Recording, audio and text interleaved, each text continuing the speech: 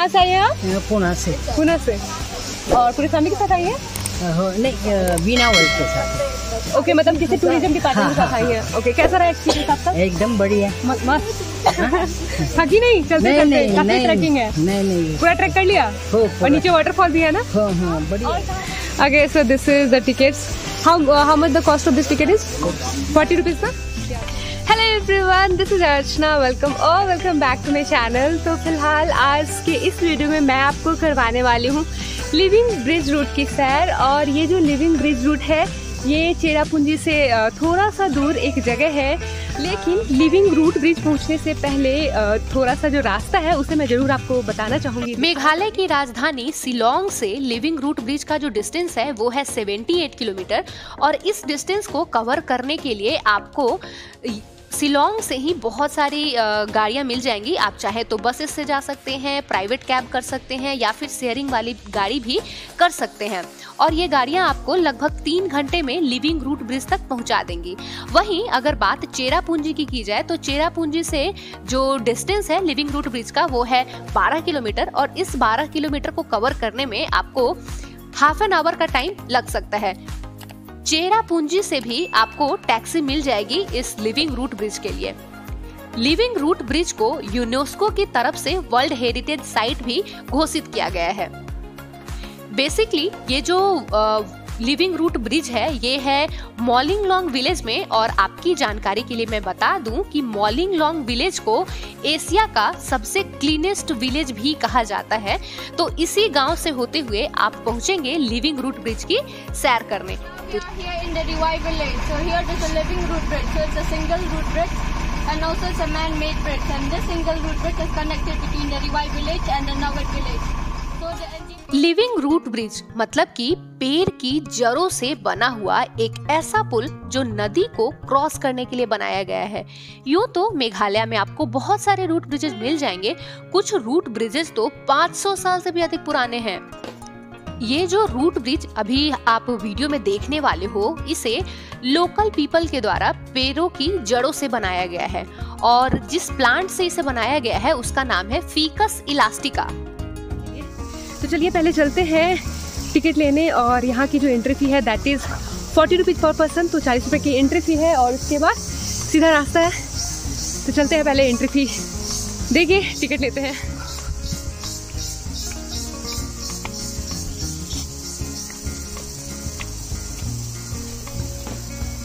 And देख रहे हो एक चीज़ जिसने भी ये बॉक्स डोनेट कर रखा है उसका नाम यहाँ पे लिखा हुआ है?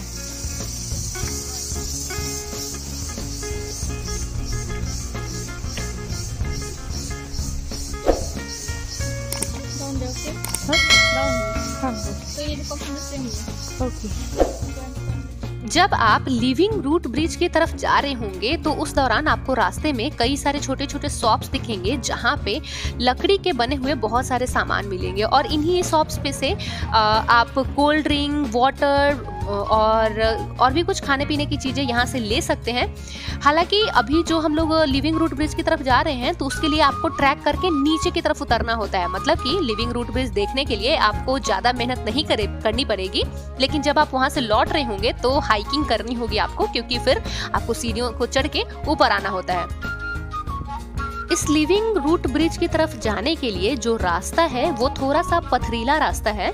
मतलब अभी इस वीडियो में आप जो ये रास्ता देख रहे हैं ये लिविंग रूट ब्रिज की तरफ़ ही जा रहा है और यहाँ बड़े बड़े पत्थरों को बिछाया गया है और इन्हीं पत्थरों पे अ, मिट्टियाँ भी ऊपर से थोड़ी सी डाली गई हैं और उनकी मदद से कुछ स्टेयर्स का फॉर्मेशन किया गया है और साइड में आपको बैम्बू ट्री से घेरा दिया हुआ दिख रहा होगा तो ये जो घेरा है ये बेसिकली रेलिंग्स का काम कर रहे हैं I think there's there is a fall also. I can hear the sound of water. Can I take you into my vlog? Okay, so this is the tickets. How uh, how much the cost of this ticket is? Forty rupees, na? Yeah. So the ticket of leaving route bridge is of forty rupees, and मैंने भी ticket ले लिया है. So let's go. दो सोची अच्छा ठीक है लेकिन ये जो वीडियो है ये YouTube पे अपलोड होगा तो चलेगा चलेगा बात नहीं हाँ हाँ, चलिए ठीक है कहाँ से आए हैं आप पुणे से पुणे से और पूरी फैमिली के साथ आई हैं हो- नहीं अ, बीना वर्ल्ड के साथ। ओके मतलब किसी टूरिज़्म डिपार्टमेंट के साथ आई हैं। ओके कैसा रहा एक्सपीरियंस आपका? एकदम बढ़िया। मस्त। थकी नहीं? चलते नहीं चलते काफ़ी ट्रैकिंग है। नहीं नहीं पूरा ट्रैक कर लिया? हो और नीचे वाटरफॉल भी है ना? हाँ हाँ बढ़िया। और कहाँ कहाँ घूमी? मतलब आज फ़र्स्ट है या सेकंड है? फ़र्स्ट नहीं ये सेकंड है। तो चेरापूंजी गए होंगे? नहीं चेरापूंजी अभी जाने वाली हूँ। ओके इससे पहले गुवाहाटी गए। अच्छा गुवाहाटी गई थी? अच्छा हाँ। चेरापूंजी और भी अच्छी जगह है मैं घूम के आई हूँ। अच्छा हाँ हाँ कल नहीं आई हूँ। वहाँ पे आपको तो- बहुत सारे फॉल्स देखने को मिलेंगे। अच्छा जाने वाले हूँ हाँ ठीक है तो ये वीडियो यूट्यूब पे जाएगा देखिएगा। Just now I met with an aunty and she came with the travel company and वो एक किसी ट्रैवल एजेंट के थ्रू यहाँ आई थी। तो she has explored this place told me that uh, include her into the video so, इसलिए मैंने एक छोटा सा वीडियो बना लिया। Okay so let's go and मुझे सामने से ब्रिज दिख रही है। तो ज़्यादा वॉकिंग डिस्टेंस नहीं है, ये देखो, ये मेरे पीछे, नीचे ब्रिज है। एंड इधर से अभी हम लोग आ रहे हैं दिस साइड से आ रहे हैं। एंड ये सामने रही आपकी ब्रिज तो ज़्यादा नहीं है। एंड या ये प्राइवेट प्रॉपर्टी है मतलब ये मैन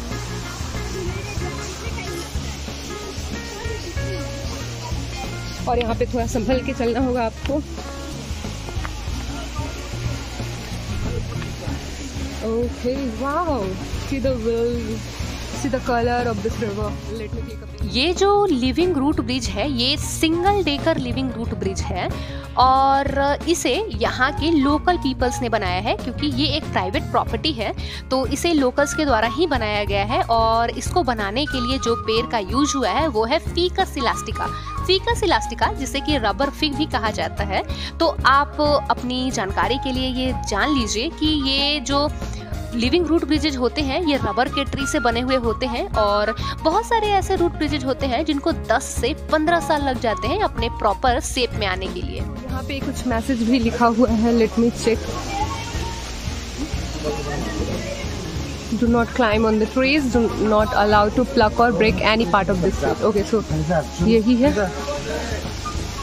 ब्रिज आपका ये सो ये है लिविंग रूट ब्रिज तोड़ना मना है but you can touch this is made up नाम ही है रूट ब्रिज तो ये जड़ों से पेड़ की जड़ों से पुल बना हुआ है ये चलते हैं आगे अभी तुम आ जाओ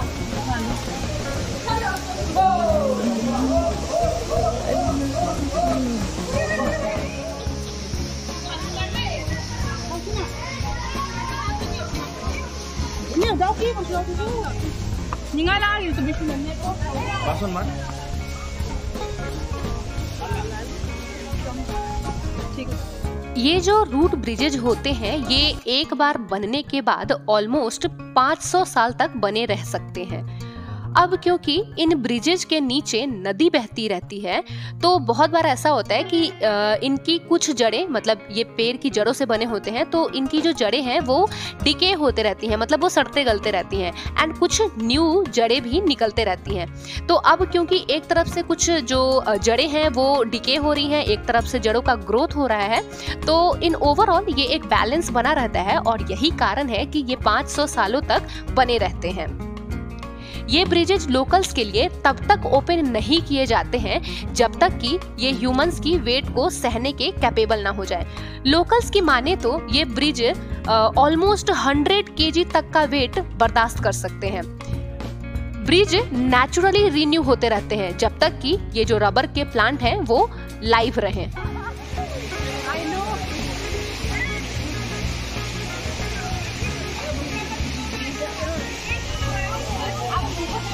हाँ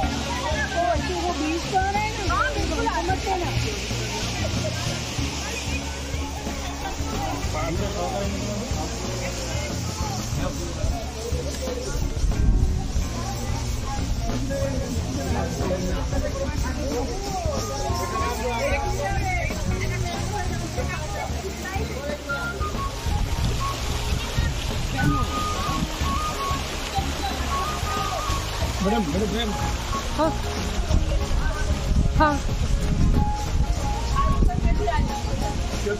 Yeah, even okay, fine.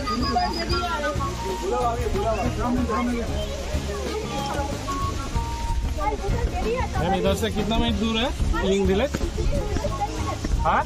Ten minutes अगर आप ध्यान से देखें तो आप पाएँगे कि इन ब्रिजेस के ऊपर थोड़ा सा स्टोन और मिट्टी ये सब डाला हुआ है और बेसिकली ये इसीलिए डाला हुआ है ताकि चलने में आसानी हो और ये टोटली नेचुरली होता है।